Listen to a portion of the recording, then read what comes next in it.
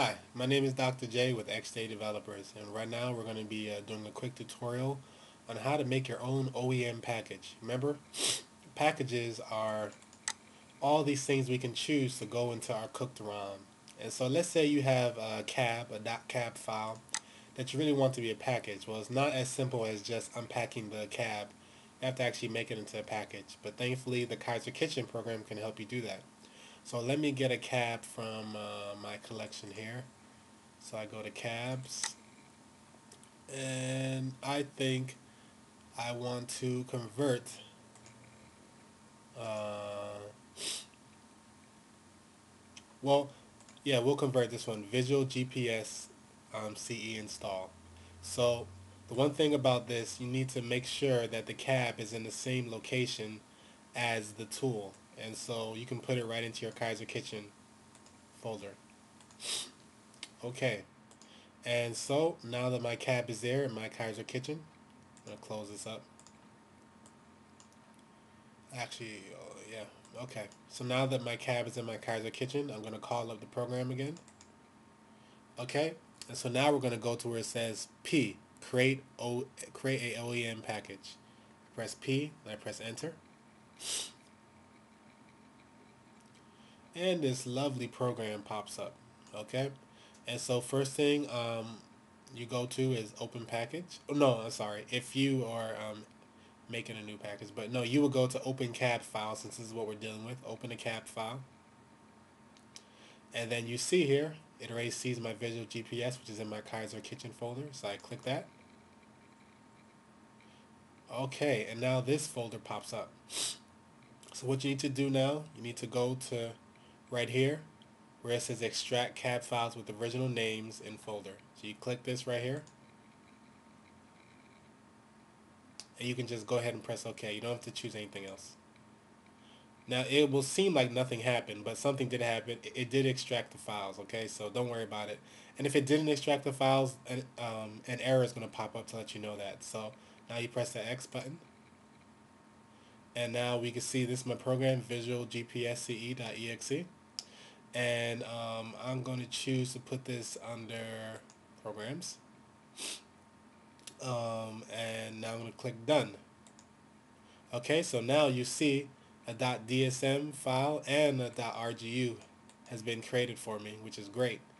And you can actually choose here um, where you want like what category of package you want this to be under and I'll just put apps and then you can choose whether by default you want this enabled in your um, in your ROM cooker. And so I'll click enabled. So once you've done that and then you click complete package. Oh and if you want to actually really go ahead and and, um, and decide exactly where your app is going to be in terms of the file hierarchy you can go to this tab which you just came from basically. You can actually choose how it's going to be by um, typing it in over here. But we're going to go back. Okay, so I'm going to click complete package. And says, good. A package was created successfully and a dot .reg file was imported into .rgu file. So that's what we wanted. We can close this up now. And if we go to our folder, you see a folder now has been created for that cab. And this is our package.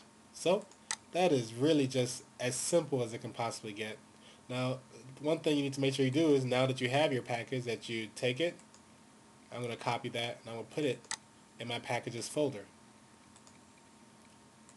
And we'll see if what we did works. So we're open up, well the Kaiser um, ROM Kitchen is already open. Let's go to Cook a ROM, press C, I press enter, then I press B, then I press enter.